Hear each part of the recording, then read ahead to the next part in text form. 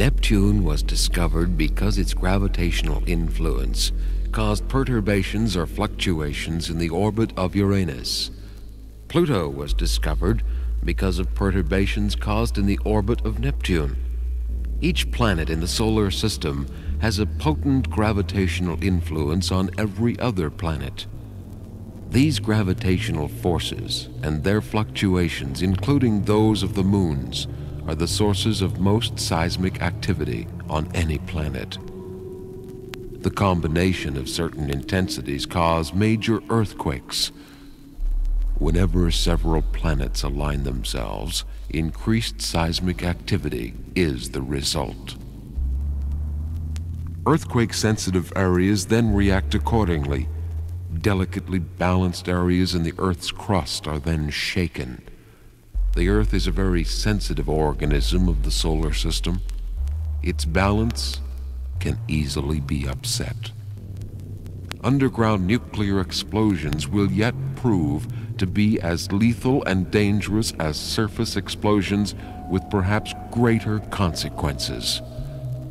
A similar situation would be that of a junkie fatally addicted to heroin, shooting devastating explosions into his life system. The body can only take so much before total collapse. From 1982 to 1984, the planet Earth will be shaken in a manner that it has not been shaken for over 500 years. Nuclear blasts have altered the subterranean balance within the Earth's crust. The San Andreas fault line will most definitely react to this time and California will be devastated by earthquakes. Not only California, but the entire Pacific coast of North America, Central America, and South America will tremble and rock.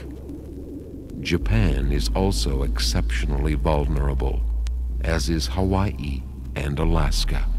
Without a doubt, the time comes. Without a doubt, every underground nuclear blast weakens the Earth's crust, especially in areas near fault lines such as New Mexico, Arizona, and Utah. Most likely, nothing preventative will be done before catastrophe.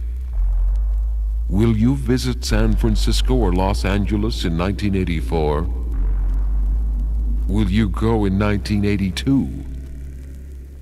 Will you go now?